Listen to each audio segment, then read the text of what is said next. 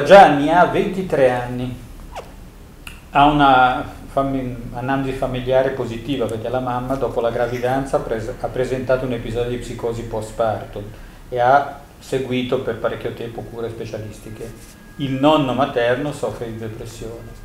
Eh, Gianni si definisce come un carattere emotivamente molto sensibile, intelligente, si è diplomato con successo e eh, si è laureato e adesso lavora come impiegato.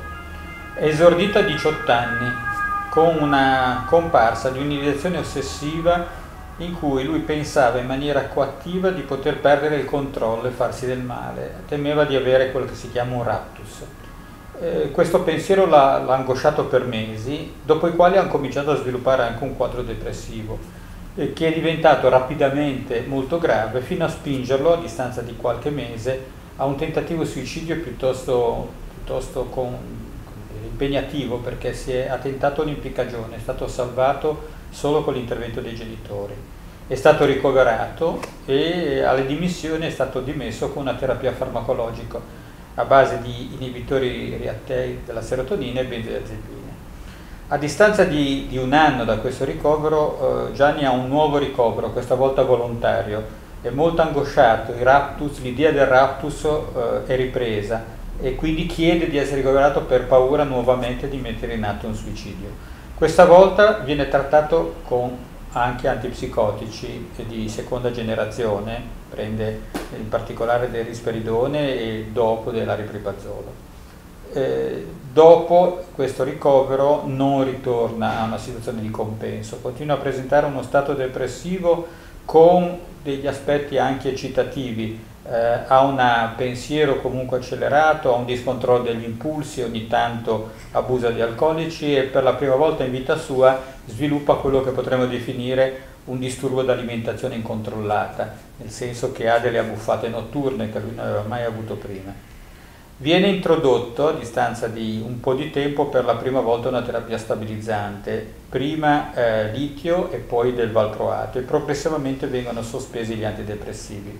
Il paziente presenta un accitamento la, diciamo decisamente minore, lentamente sia l'ideazione ossessiva sia il discontrollo migliorano e questo gli permette di riprendere eh,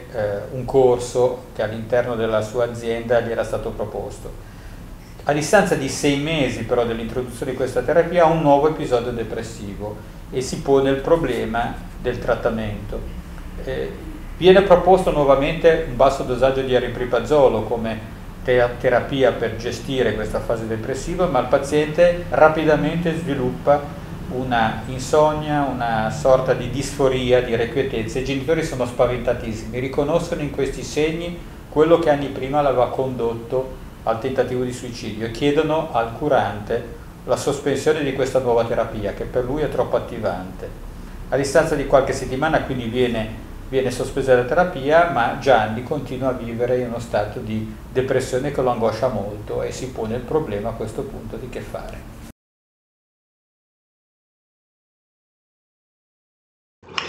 Il caso di Gianni, anche un caso che parte con un quadro di familiarità, di spettro bipolare, la madre ha avuto una reazione psicotica postpartum, nonno materno, quindi c'è tutta la linea materna è affetto da depressione, Gianni, un ragazzo giovane dal carattere sensibile come egli stesso si descrive. È interessante capire che cosa accade intorno ai 18 anni, in cui da una parte abbiamo una mh, ideazione ossessiva e, e dall'altra parte eh, c'è questo timore del raptus. Insomma, mh, la mia impressione è che qui eh, l'ossessività non è un'ossessività eh, primaria, cioè non risponde ad una struttura, diciamo, ossessiva, è piuttosto un'ossessività secondaria, come dire, di coping, di adattamento, ovvero è un tentativo che il paziente fa di irreggimentare eh, questa onda di cui sente il turbamento, il timore del raptus e quest'onda che sta arrivando è l'onda dell'umore, è l'onda di un umore perturbato che eh, si eh, eh annuncerà rapidamente come depressione e eh, eh, soverchiando ogni tentativo di coping con un tentativo di suicidio drammatico per impiccagione e con un alto livello di impulsività e di violenza. Quindi il paziente viene ricoverato e anche qui eh, con questo eh, scorcio di storia eh, dargli semplicemente degli antidepressivi eh, e fine ehm, è estremamente rischioso perché è come se si andasse diciamo a incentivare un qualche cosa che è, è, è, è, cominciato da lontano e ha tracimato le, le, le difese del ragazzo. Infatti il, il raptus torna